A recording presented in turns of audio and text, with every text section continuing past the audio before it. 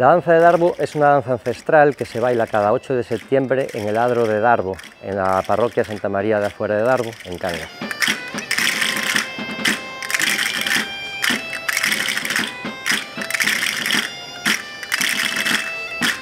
Esta danza tiene origen en el siglo XVI y se bailó de forma ininterrumpida hasta hoy en día, salvo eh, tras la guerra civil eh, que paró unos 50 años hasta el 1986 que se recuperó.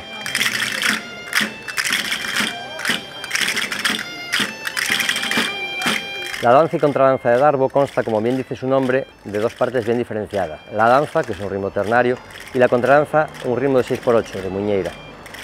En, tanto en una como en la otra, a lo largo de toda la danza, los danzantes se distribuyen en tres filas.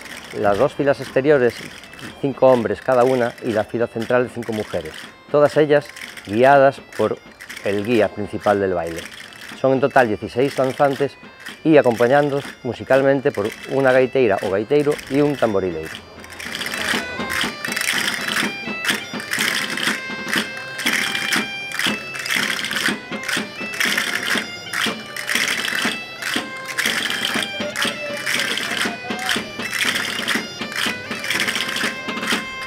Los danzantes, las dos filas de hombres y el guía acompañan la danza en todo momento con castañuelas, tocando las castañuelas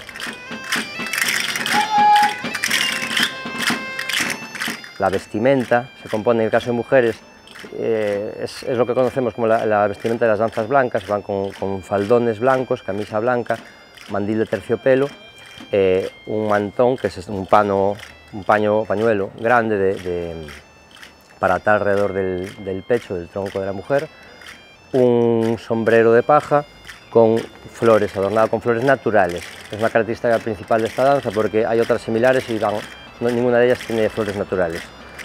Y luego pues eh, pendientes y, collares.